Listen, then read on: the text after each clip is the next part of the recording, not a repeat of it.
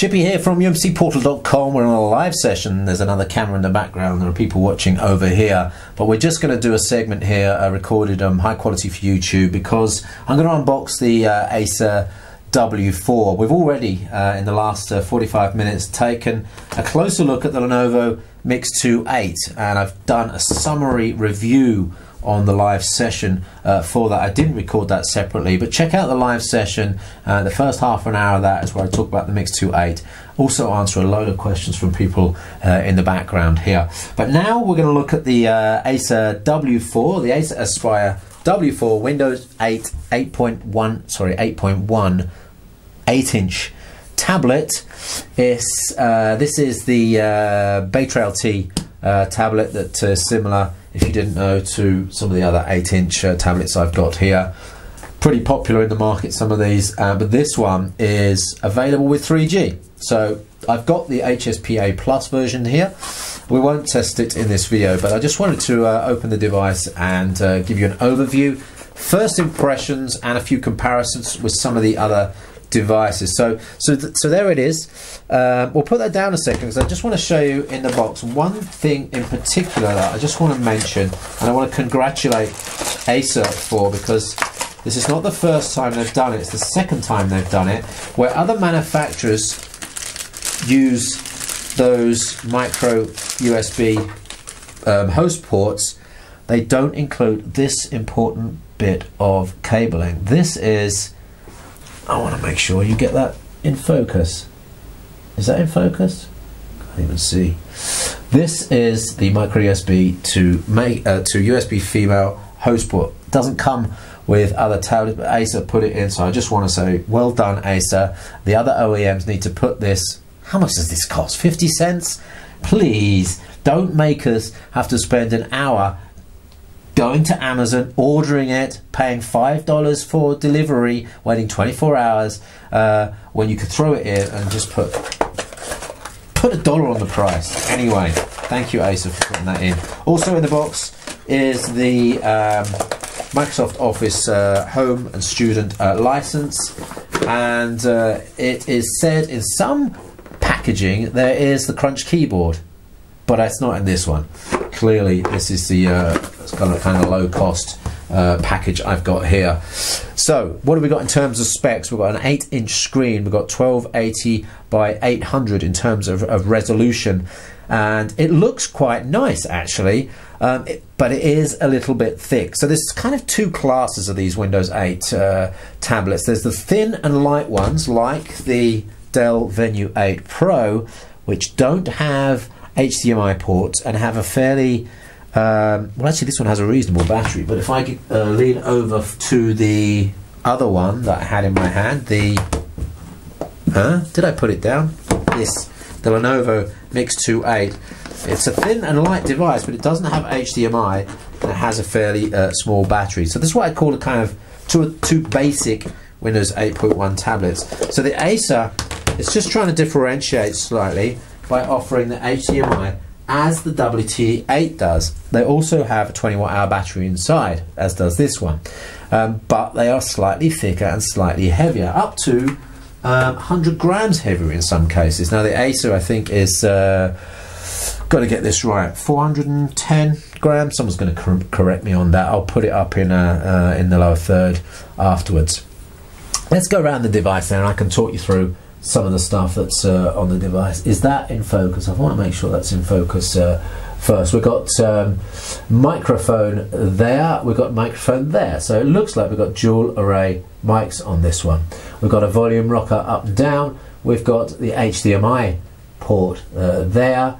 And then we've got um, SIM card slot, micro SIM card slot uh, for the HSPA module, micro SD card slot there. And that's pretty much it there. On the bottom stereo speakers. They're okay. They're not fantastic. They're usable. Uh, then there's the uh, micro USB charge and the headset port uh, there. On the other side there's nothing else. And on the back there is the 5 megapixel cam which I think I did a test on today and wasn't very impressed with.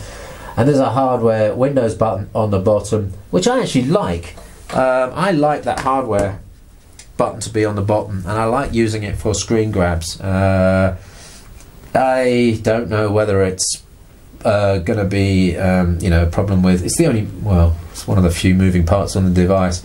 So of course, anything that moves can potentially break. But uh, anyway. Let me just uh, log in, and uh, what I will say is that the screen is nice and bright. Uh, there's some really, really good uh, viewing angles on. In fact, really quite impressive viewing angles actually on this. Uh, really, not much fade at all, and it's a complete contrast to the old W3 that uh, that Acer had.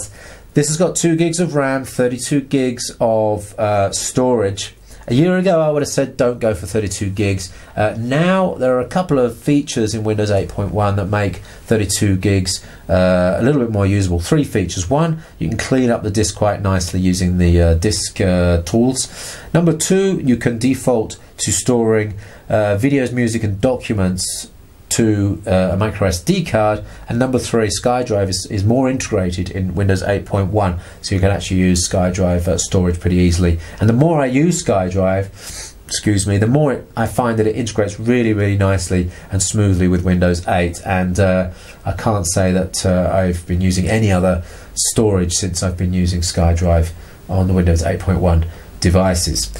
Disk speeds uh, seem to be okay, apart from a slightly weak 4K write speed, uh, which matches the, the, the write speed on the um, no, not on this one, on the Asus Transformer Book T100, which others have commented was a little bit slow on the 4K write speed. So that's only for people that are really going to push these to the limits. Four, uh, sorry, four megabits per megabytes per second is not um, crazy. Uh, spinning disks will probably get less than that. But in terms of SSD, it would be nice to see 10 megabytes a second or, or, or, or more. So I haven't done too much more with it uh, apart from checking the uh, 3G capability, and that actually works uh, pretty uh, nicely. Apart from the fact that I was rather hoping it would work uh, in connected standby. Windows 8.1 brought in the connected standby enhancement for 3G, doesn't seem to work. So I, what I really wanted to do, uh, the geeky me wanted to make this into a Skype phone. I wanted to get a Skype in number and I wanted to just see if over 3G it would work, whether the battery life would be acceptable uh, and whether you could restrict data flowing over that 3G uh, by having it as a um, uh, metered connection in, in Windows and whether that would work. So I'm going to do more tests on the uh, on the 3G on this and, and, let you know. I'll do some more tests on the Wi-Fi as well, let you know if that's uh, good quality because that's quite important. That's one of the key features. In fact, when you think about features, um, it is the only important feature that can degrade to zero. Uh, a bad screen is still a usable screen. Um, a poor amount of storage can be made better after you after you clean it up uh, small amount of RAM. You can work uh, work around that uh, by using uh, fewer programs at the same time. But a Wi-Fi, uh, when it degrades to zero, you can't use the tablet anymore. You have to move back into Wi-Fi range. Uh, it, in some cases, that's not possible. So I think Wi-Fi is very critical on these devices. Having said that, with 3G, at least you've got an option there, and actually a little bit secu more secure. Uh, also worth mentioning GPS on this. So if you've got 3G and GPS, you can use those uh, LoJack type solutions to track and uh, unlock the uh, devices if that's the sort of thing you're you're into. Of course, the, the drive on this is uh, is encrypted. Anyway. Um, so that's uh, that's pretty much it. Eight, eight, to nine hours battery, I think, is is fair to say on this. I've had a look at this over two or three, two days now, and a total of about six hours in use. So using power config minus battery report, you can actually get the um, extrapolated figures for battery life, and they look to be about eight hours, and that's uh, that sounds sensible given that it's got uh, a 19 to 20 watt hour battery in there. It is a little bit bigger, a little bit thicker, a little bit heavier, but I think the Acer is going to be one of the two that's going to get discounted pretty well. The Lenovo Miix 2 will be cheaper, but you'll probably find this, especially in Europe with the 3G version. It isn't LTE, unfortunately, but with the 3G uh, HSPA Plus, which is 21 megabytes per second max theoretical download, um, you'll probably find that at a reasonable price. I think 349, I believe, with the 3G and 32 gig. That's pretty good. In fact, it's very impressive actually when you think when you think about it.